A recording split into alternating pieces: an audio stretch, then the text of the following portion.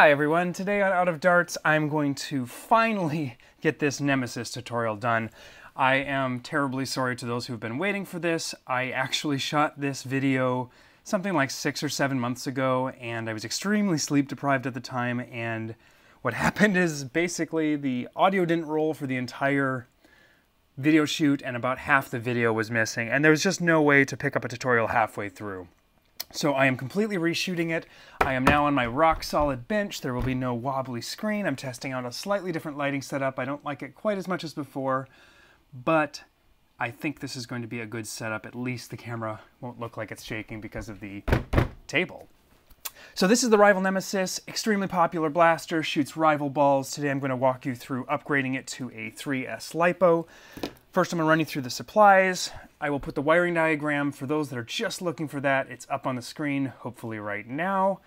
This is a very basic wiring setup, but it, uh, it also includes motor braking to allow for a really snappy trigger response and a spool down for uh, stopping the trigger. So when you release the trigger, it'll stop really quickly firing.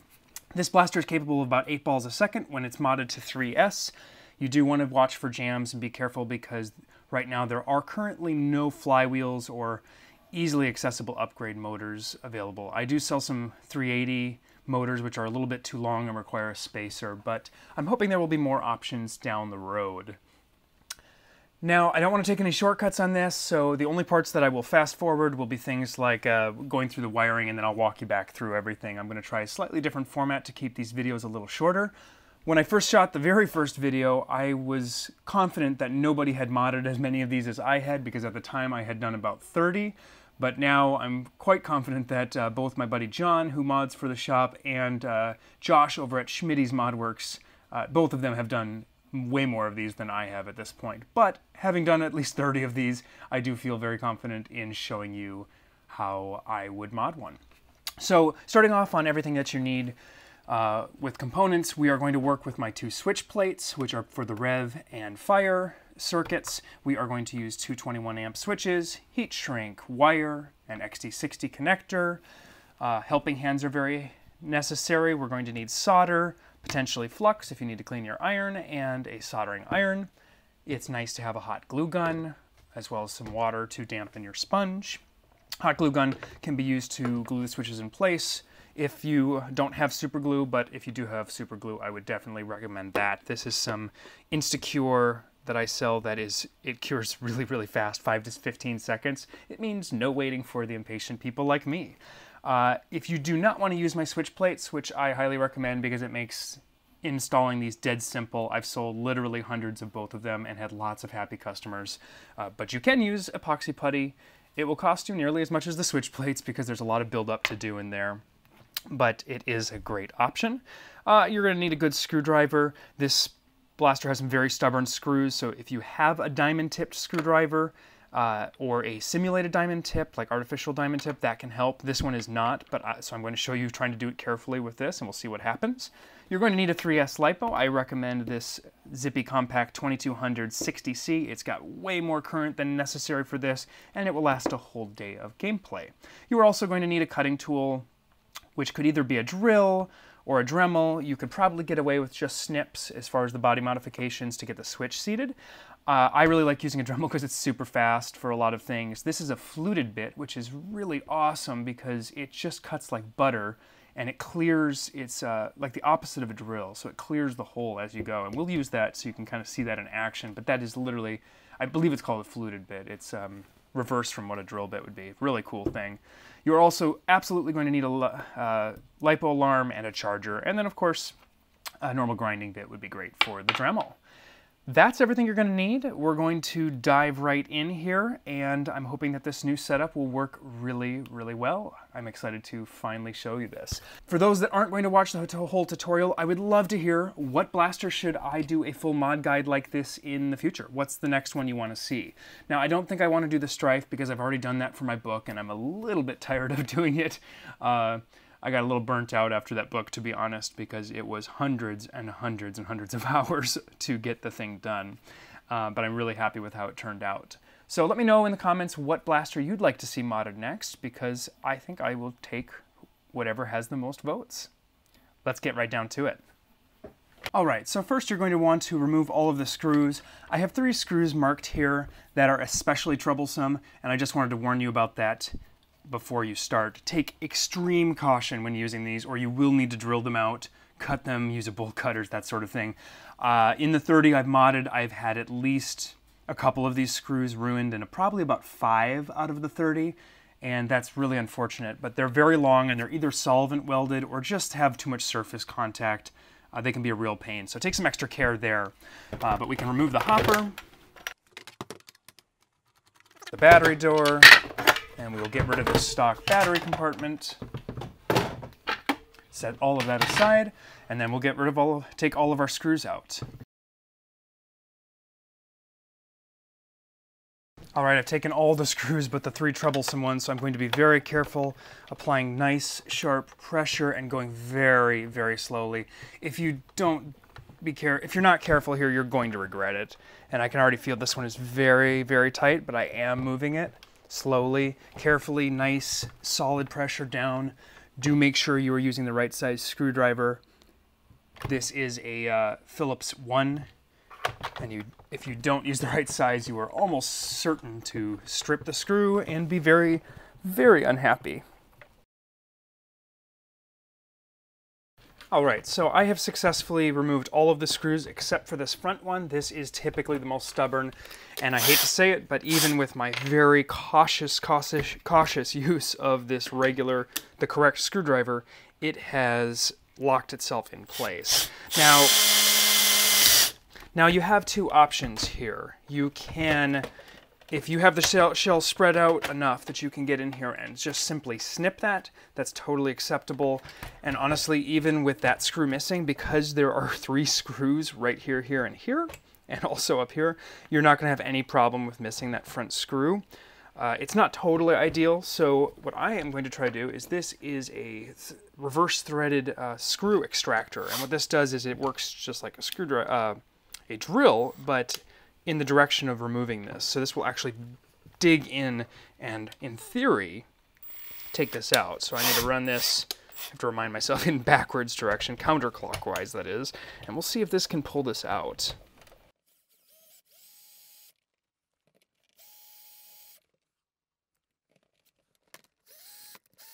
All right, so I hate to say it, but I have done what some of you will likely do in modding this blaster, and uh, I think the best solution is to have a diamond tip screwdriver, but really there's just not a lot of options. And I promise you, I was careful with that screw. This is, this is a possibility, so it is something to be aware of. Now I have some snips here. You could also use a bolt cutter. I am going to do the method of simply snapping this off, and I'm going to try snap it as high as possible so I can get a vice grips on to pull that off later. Now I recommend leaving all of your screws in your shell. You do not need to access anything else. Sometimes you'll get one that's a little stubborn, unless I missed one. see. These two parts you can take and set aside. I recommend leaving these screws inside of them. And now we've got the shell off. So carefully set this aside, leave all the screws in, in, in it. Uh, in my case, I am going to uh, remove this guy here, and then I will come back later and hopefully remove the front screw and replace it. All right, now that we've got this open, you can set this uh, back side of your safety aside. We are going to do demolition, and the first thing you're going, going to want to do is uh, unscrew this screw here and this screw here and this is to gain access to our entire firing assembly here, which is both the pusher and the flywheels. You'll want to watch that these little rubber gaskets don't get removed. If you lose them, it's not a huge deal, but they do, they are here for a purpose. They dampen the noise. And so those two screws will let you get this whole assembly out. Um, I do recommend setting those somewhere where you'll see them and won't lose them. I'm just going to leave them kind of close by. I'm sure in the video they'll disappear. You can set the muzzle aside. We won't need that for a little bit. Next, we're going to take our switch plate cover off. And I will bump the camera closer here so we can see more once we get, get going. Now we can take our snips and pliers, and we're simply going to rip out all of the stock wiring. You do not need to here. You you can unscrew that part that I did there, but I just I just rip. There's um, it has no purpose for us anymore. This tape doesn't need to be in here. This is one guy you don't want to lose. We do need this up here. So you can either try leave it in there the whole time or set it aside. Um, it is required for our uh, for uh, putting the uh, battery door back on. So after we've got that out, we can snip away all of this wiring and fire up our soldering iron. This little cover, if it does pop off, by the way, is here. It's really interesting because Hasbro put a screw hole there, but there's no screw in it. So I have frequently uh, made the decision because they, it seems like a constant, uh, easy piece to lose. I just take a, a Nerf screw, if I've got one the right length, that is. If you have a short standard Nerf screw around approximately 8 millimeters in length, you can actually add a screw where it looks like an engineer intended there to be a screw, but there is not. So I, um, that will never fall off again. This can all be tossed away, as we won't be using any of that.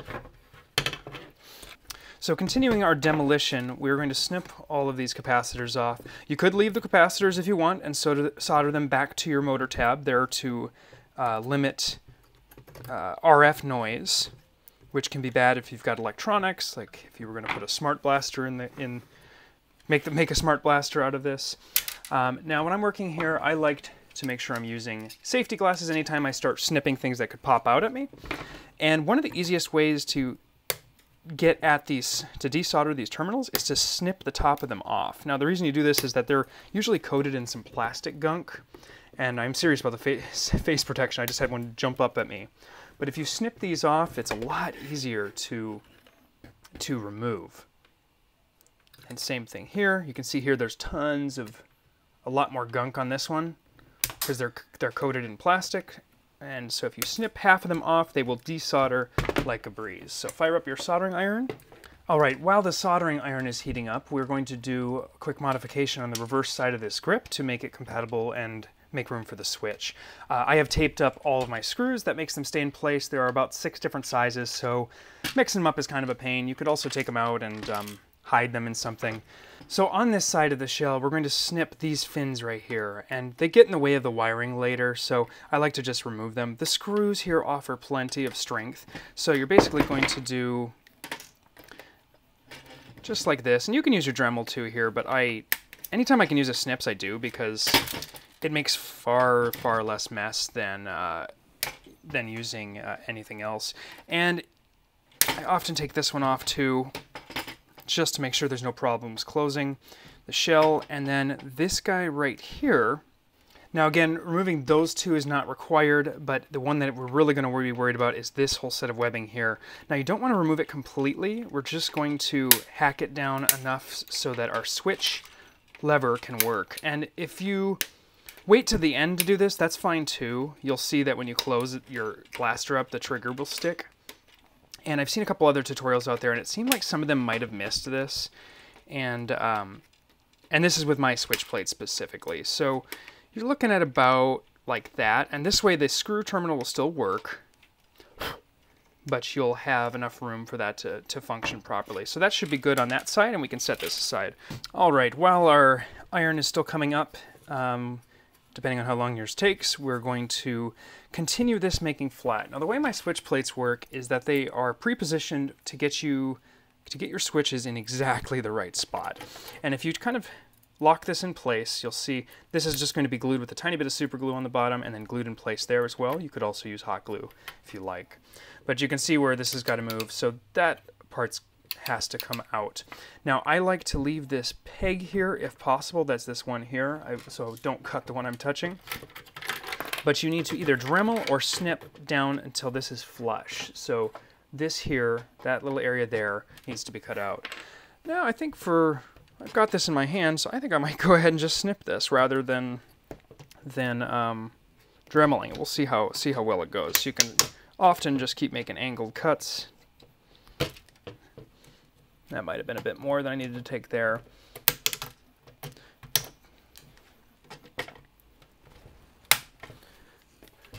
Now, of course, you do not need to use my switch plates. They're just a convenience thing. I modded enough of these that I got so tired of filling this void here or up here or back in here with, with uh, epoxy.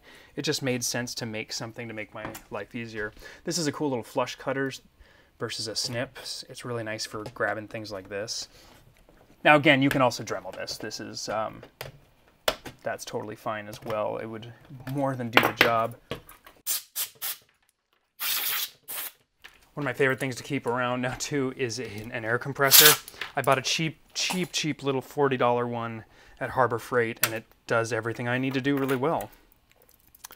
So we're gonna drop this switch in here. It's like, can I remember how my own switch plate works?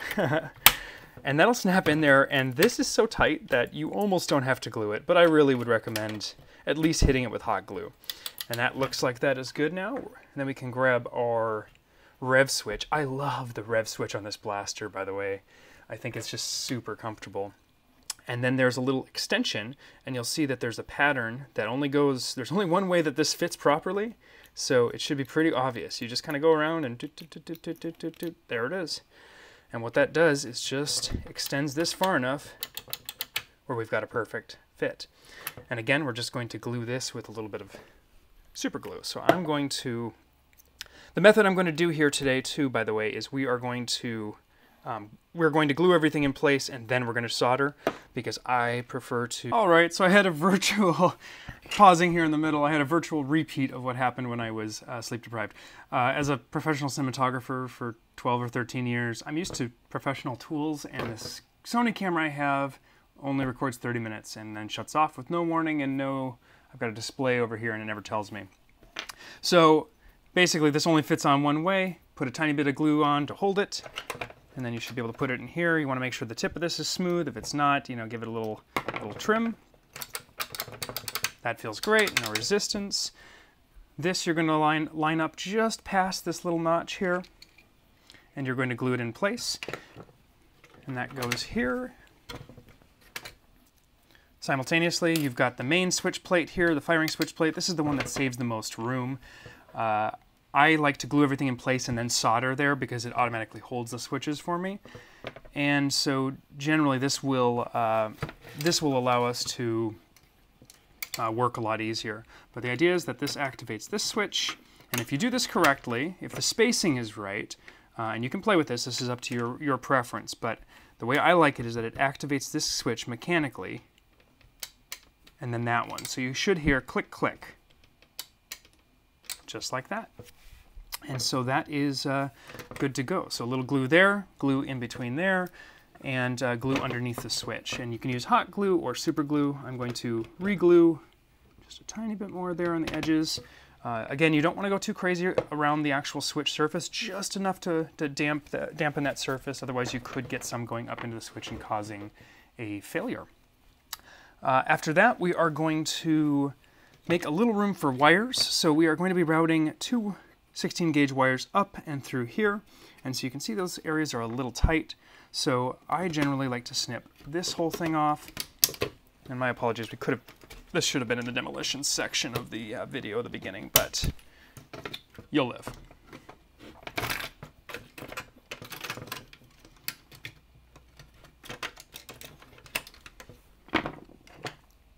probably a good idea to put this uh, switch back, switch uh, screw back in to hold it in place. So we're just keeping in mind that we got to get 16 gauge wiring in here.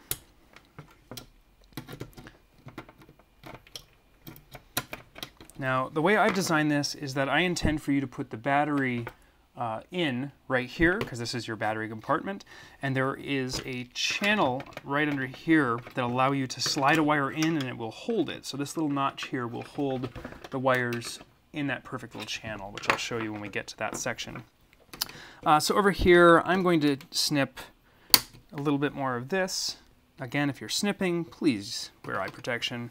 I'm going to try to keep this top uh, nub there because we are going to put this plate back on here eventually. And that's one of the features of this switch that I really like is that uh, if you do it correctly, you can put that back on. But, so I'm going to clip this here.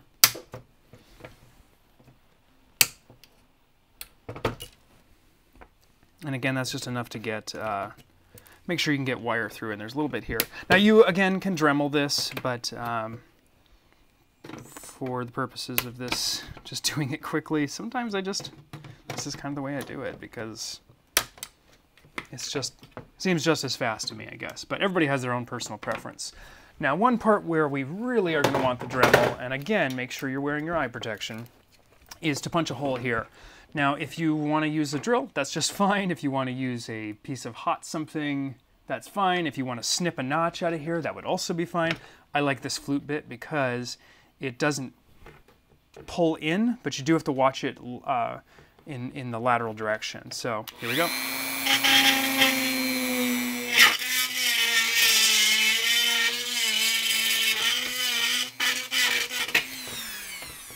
And that let me make a nice easy hole there for the wiring to come in.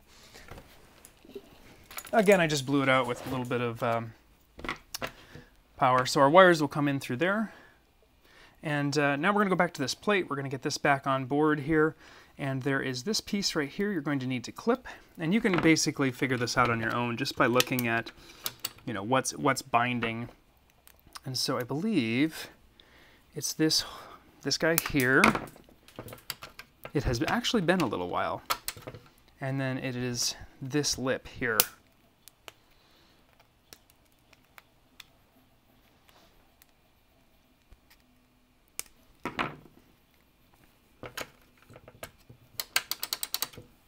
And you just want to keep checking, make sure that you've uh, clipped all of that it's that it's working, you know, before you screw it back down. But it should be very, very obvious. Always good to double check again when you close up the blaster. But the idea is that you still can have this plate here, and we're all good to go. And then we'll put our and then we'll put our screw back in. This is not the one that came from this hole. I have lost it. So again, you want to check you've got click, click, and click, click. And they're just perfect. That one's going slightly before that one when I pull the trigger. So we're good to go.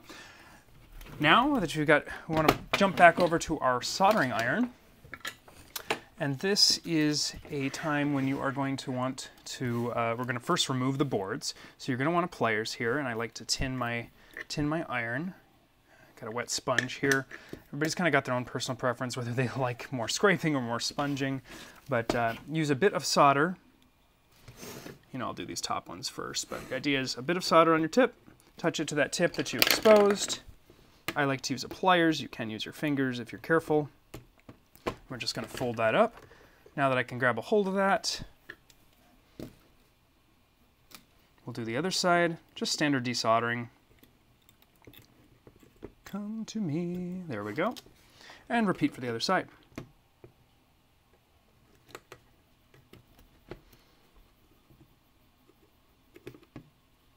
And then we're going to repeat the same thing for focus. This motor, this right here, a little harder to see on camera, but just desoldering. It's the main, it's the largest contacts with solder on the board.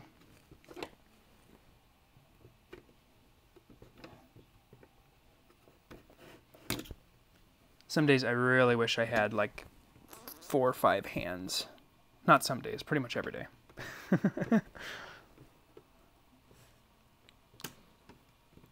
it feels so great to be modding again. I, with all the lack of sleep, my lovely little daughter has now started to sleep more at 10 months old, and it has just changed my uh, total outlook on everything. Oh, hey, there's that screw that was supposed to go on the blaster. Oh well. All right, so here we are now ready to start doing our actual soldering for wiring the blaster up. So you're gonna wanna have your wire handy. I have two colors, three colors here, excuse me. We're gonna use this for the motor braking circuit, but color does not matter. I, am just doing this to indicate to you and match the diagram that I gave you, that I uh, put up in the beginning of the video. All right, so to start our wiring, I like to break the wire as little as possible. I almost always use 16 gauge wire, silicon wire with a fine strand like I sell on my site. Uh, this is really easy and very flexible, fits in all the areas you need to use it in, and just very easy to work with. So I also like to break the wire as few times as possible. So what my method is soldering to here, and then we'll solder here. And we'll do the same thing with the red, which will go this direction. Now with the red, I actually like to send it up the other direction. This isn't a requirement, but uh, you'll see as I get this in, it gets easier and easier. So I like to just mark where that flywheel is, and then you've got your points. And you do want to leave a little bit of slack in between here, because if you don't, you can have them being tugged on a little more than you might like. Now, with the holes that are on these rival motors, there's enough room to actually insert your wire, even the 16 gauge, uh, as a through-hole solder. And uh, anytime you can have a physical connection, I mentioned this in the book uh, as well, anytime you can have a physical lock on, on any component, it's always going to be a superior uh, joint. And so I will not tin that first one and uh, spend a little extra time with the soldering iron.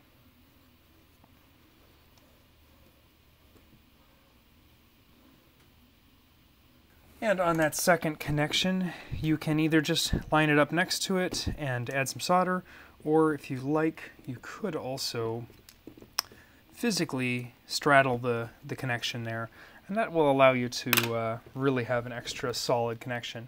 But either way, is if you have a good solder joint, you should have no problem with the strength of this. So, so same thing, we'll go ahead and solder that in.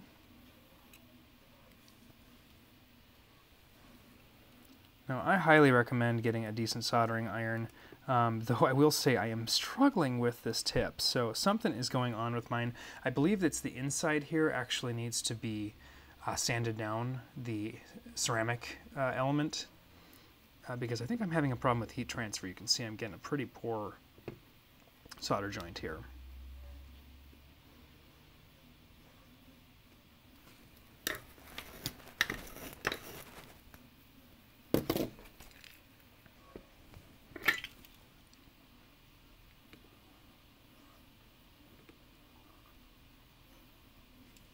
Now that we've got that part done, this first black wire is going to run back following our wire wiring diagram.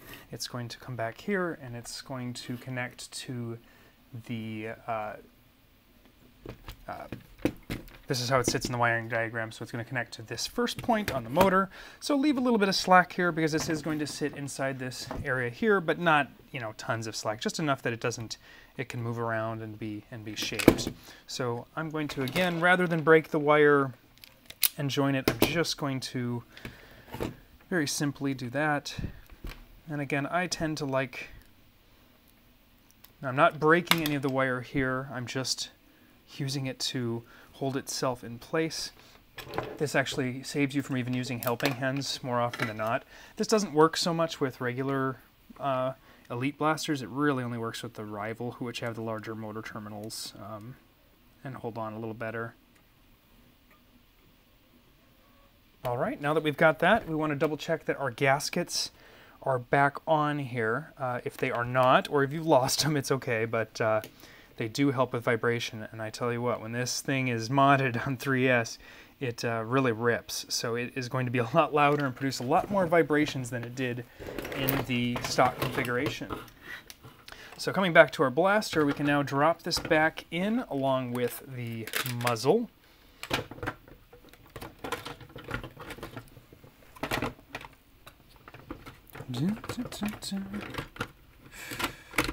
There we go. And so now you'll see that this black wire is kind of on its way to where we want it to go next.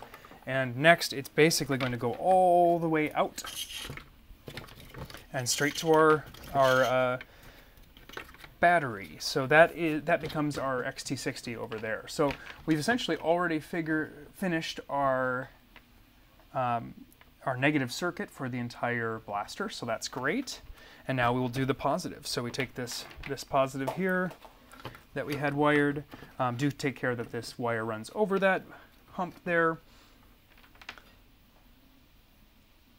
And we're going to take this all the way up and around and down and through and down to this switch, and then all the way back up to the battery. So the way we're going to do that is tuck it through here. In this case, I'm actually going to just thread it through because I seem to have it pretty tight there. So, but that's why I do have a kind of a specific order that I do this all in.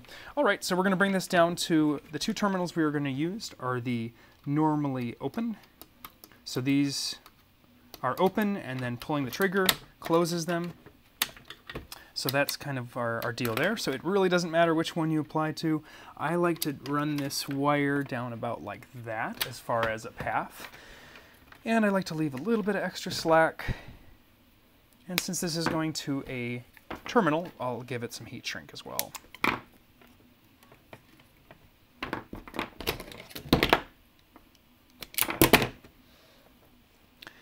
And if you kind of twist this wire, you generally can get it to just uh, poke through part of the switch. And that will allow you to have a uh, part of a physical connection, again, like I mentioned in the book.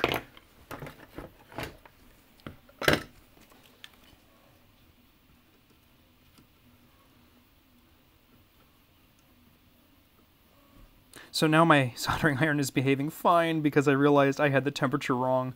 I had turned it down because I was working on circuit boards, and when you're working on a board, you really don't want to pump too much heat into that board or you can fry the components on your board. Um, it was some Arduino stuff I was doing. So I've left enough slack so I can shove this heat shrink on there, hopefully. Whoops. So I've waited, I went too, too quickly. If you uh, do it just right, you can slide this down so that the residual heat will do most of the heat shrinking for you.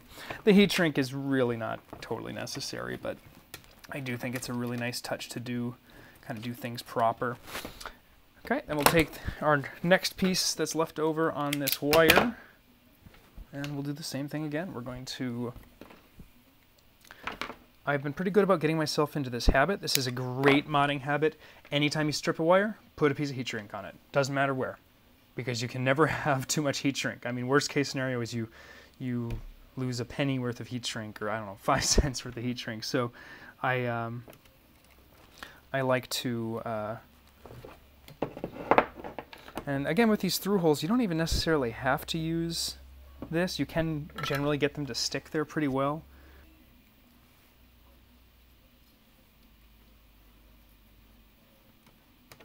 Yeah, close enough. So now we're going to take that wire back out, and that is going to be go to our XT60. Now you could poke another hole in here, but I sort of like the clean installation of just having that one hole. So we're going to thread this back through underneath our switch plate. Now you can decide to not glue that switch plate in earlier. That would be fine too, and then you would have easier access to it. But I tend to like to work with the switches just ready to go as much as possible. So that will go out to our main battery lead. So now, as you can probably guess, that if we made this an XT60, we would now have rev capability, but we have not finished up our pusher. So we know our rev should be basically ready to go. Uh, but now we need to do the pusher circuit. So I'm going to go ahead, now that I know that these are here, I don't need a ton of slack here, but you also don't want to have your connector like really wedged in here. And with the Nemesis, there is so much room inside this blaster that I'm generally not very concerned about the uh, space. But So I'm going to give it just kind of a decent pigtail. We'll go with about there. And then uh, continue on here. So next we're going to be attaching to this switch here we're going to get our positive lead over to our pusher motor. Now, I have never replaced the pusher motors on here, but I know there are people that are ha that have. I get that question a lot, um, so that's kind of up to you. The problem is, is it requires an adapter because there aren't the right kind of motor doesn't quite exist. Um, off the shelf, but honestly, I don't think you're going to see a huge improvement in just spinning the thing faster because I have shot these things on 4S and it was pretty uh, erratic. So I did not um, I guess I could have attached this before. In an ideal world, I would, I would attach this, this one before.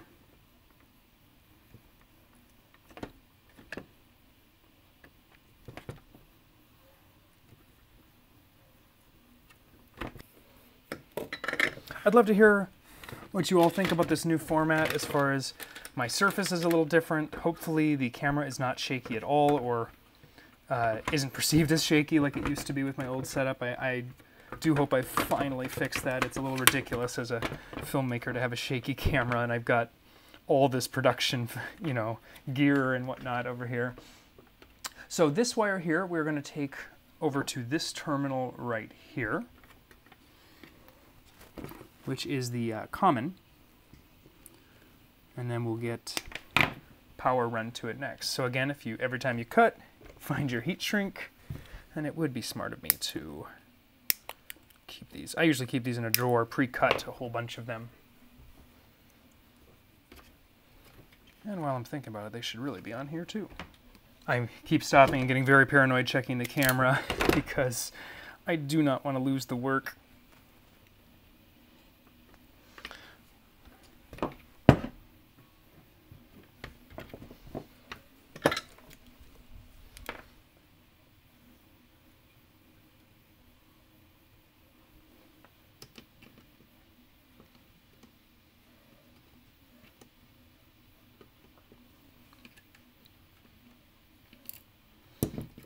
One of the nice things about this blaster is there's just so much room uh, inside rival blasters. There's just, you don't really have to fight with uh, trying to fit wires generally. So I've gone with pre-tinning these, mainly due to the angle, make it a little easier.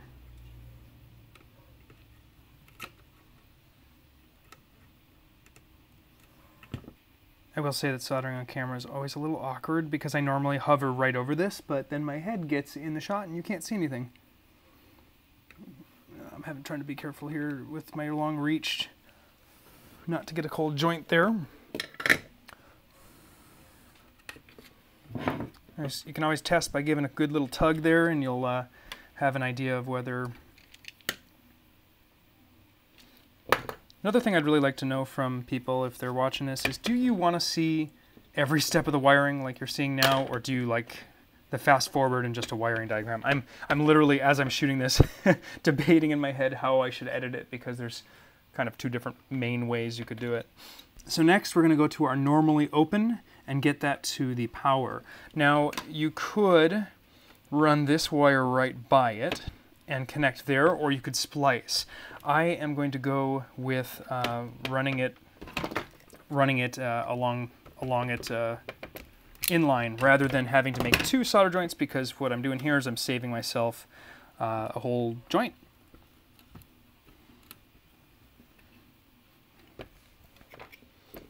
So again, if that's not clear, you can simply take another piece of wire and connect it from here to this wire before on the way to the actual battery terminal, or what I'm opting to do here is break it in line and solder it in line. So the positive's coming in, it gives power to the switch, which gives power to here, then it comes down to here, and then back up.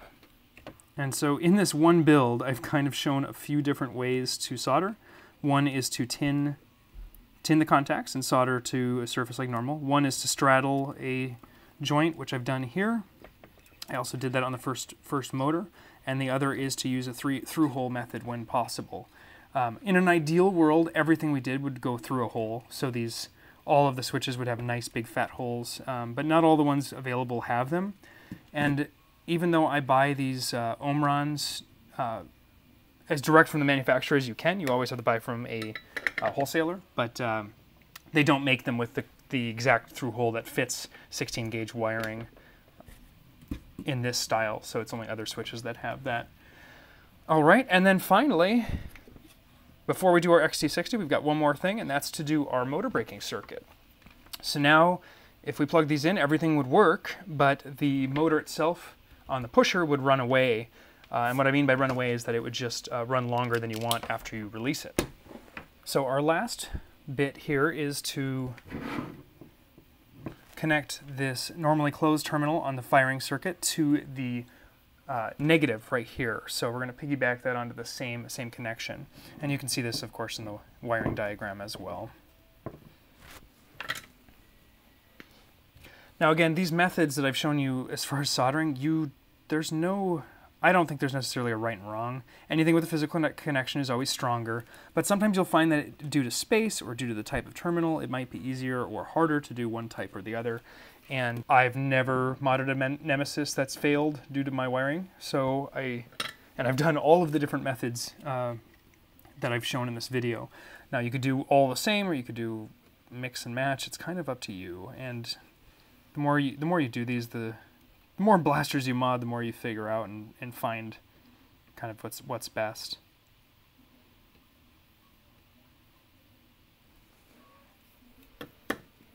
Oh, and what did I forget to put on there? Luckily, I still have a moment. so we'll slide a piece of heat shrink on there. Heat shrink is not totally necessary. I mean, really, when it comes down to it for these blasters, it's nice. It adds a little, it adds a little strength. It adds uh, little bit of extra resistance on pulling and stuff, but generally it, you shouldn't be, nothing should be pulling on these once you're in. So I'm going to solder this directly to this terminal here. You also could choose to solder directly to this wire. You also could choose to solder directly to the anywhere along this wire, or you could run this wire through here like we did before. Uh, it really doesn't matter where you in the, are, the circuit completes, but for illustrative purposes, I think it it is a little easier to view and look at doing this way, so I'm going to uh, continue with it this way. And this one I'm certainly going to pre-tin because we're going to connect it to an already soldered joint, which we'll need to make sure pre-melts plenty to get us what we want. Now here we'll have no heat shrink because there's not really a way to do it.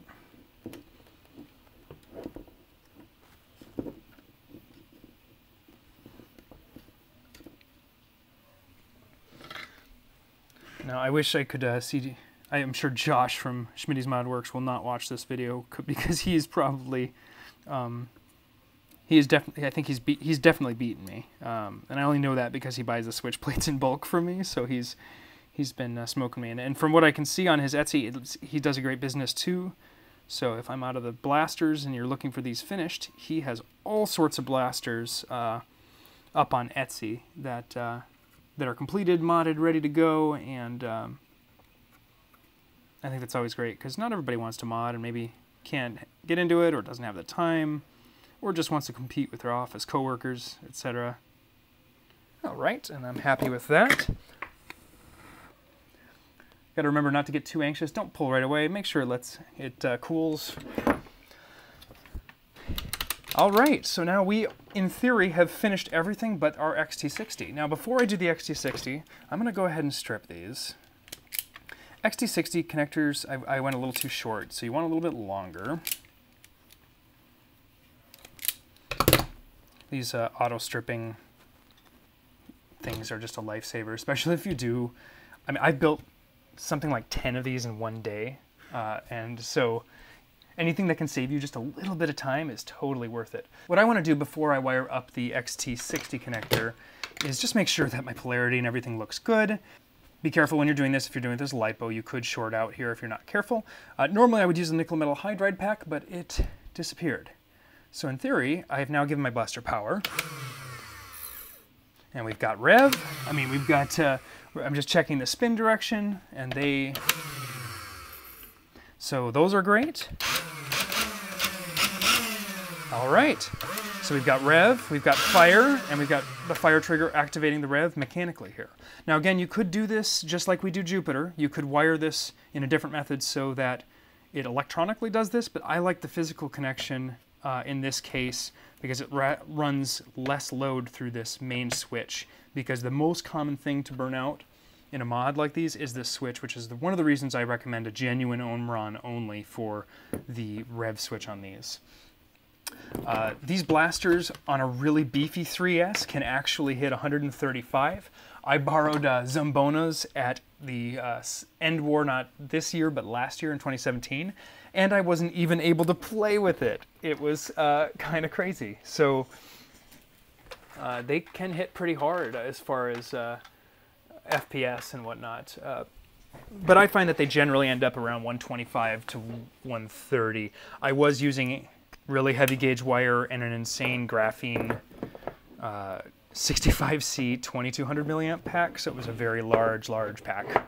All right, so now that we've tested that, we're gonna wire up our XT60.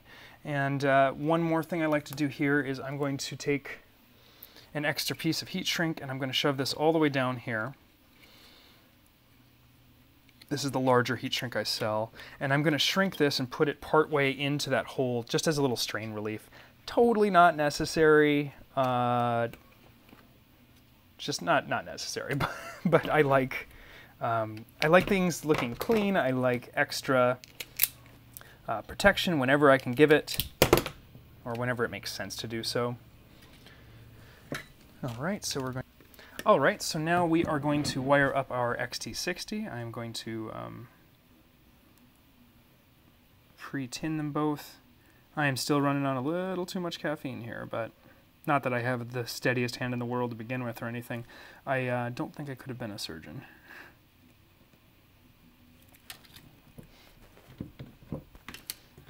Sorry when that drops.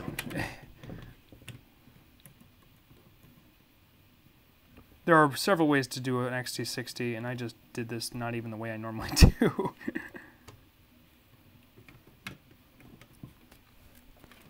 I normally just tin them a little bit each and then um, and then then work the flux into the whole thing. Oh, and I just made a mistake. This is something I would have been mad at myself if this was a customer blaster, but it's going to be mine. I dropped some solder right here. One of the hazards of soldering over your blaster, and this is why painting stuff, after, you know, modding after painting is really a, a challenge, is you can easily drop solder on a, on a shell or something that you, you want to keep, and that's no good. All right, and we'll do the second XT60. And you definitely need to be patient with these guys. I like this method. I'll do a video on this to explain someday too. Oops, sorry about that, focus.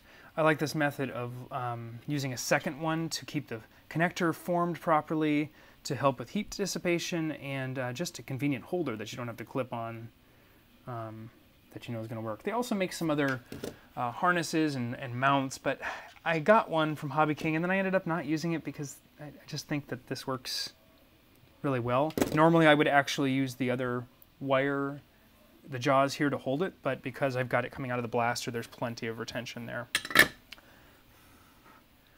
So after that, while that cools, I'm going to shove these uh, small pieces of heat shrink on it. This is one step where heat shrink I think is extremely uh, necessary because you uh, it's that's an easy joint to potentially short. So now with this extra piece here, I'm going to sort of fold that and then slide it until I get it uh, in there. And I'm going to put it halfway straddling this hole. And I could probably have gotten a slightly better size.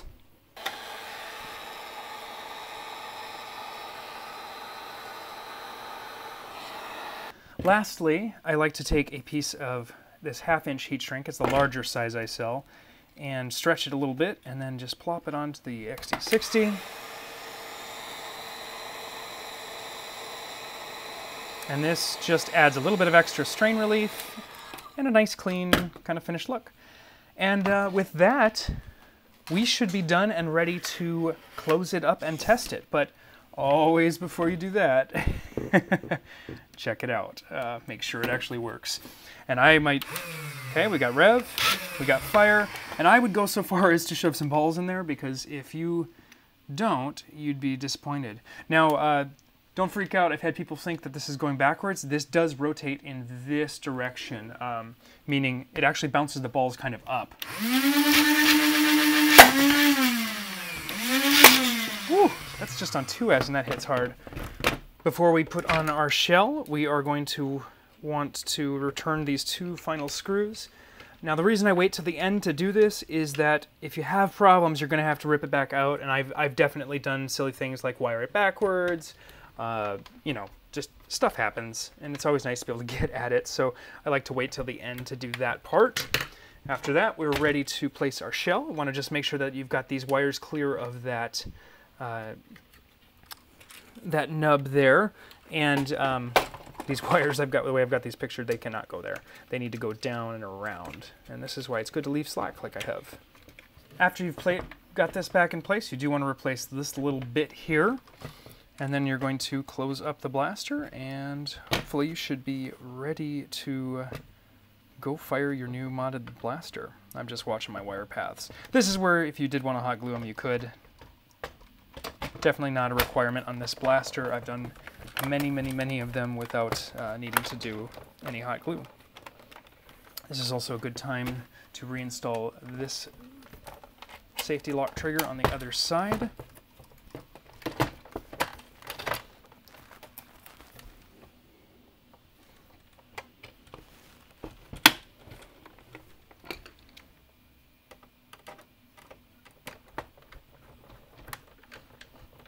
After you've replaced your trigger, you can now close up the entire blaster.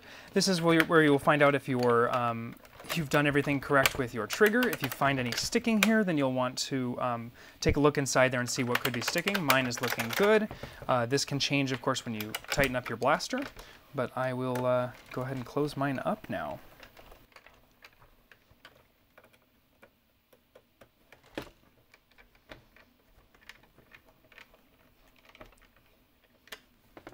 Remember to take special care with these two and the front screw. Hey, I'm good. So after you've got all of your screws, you're going to want to replace these two bits here. And this should line up with that, that little part inside, and that's what actually allows your uh, jam door to open. And I am hoping that I have that in the right spot. it's easier to put this side in first and then try to get the other side in. And when you've got it in correctly, it should pull this tab. So if it doesn't pull that tab, uh, you got something wrong. Now I did, of course, mention that the front bottom screw here is hacked in half. I'm just going to leave it because it is plenty tight. It is not going anywhere and uh, it's not ideal. Hopefully it doesn't happen to you. Like I said, it doesn't happen on every blaster I've done. Probably about a quarter of them if I had to take a guess on an average. And with that, we are ready to uh, put our blaster back together. This one's got a, one of our sling points on it ready to go. Kind of excited about that. And then we will plug it in. That is good to go. Uh, we will grab our, we will install our LiPo alarm to be safe, and then uh, after that we'll go out for a test fire. One thing I would recommend is you can take some foam or something similar to just uh, pad this so that when you're running around this isn't bang bang bang around. But for now, since I'm just going to do a quick test fire outside, hopefully not in the rain,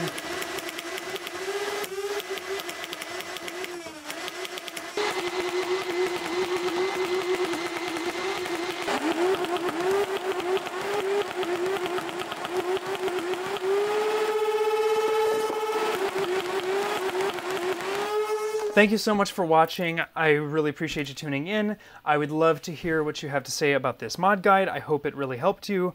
All of the parts and kits for this blaster are available on my site. And what would you like to see next? Until next time, thanks for watching. I'm out of darts.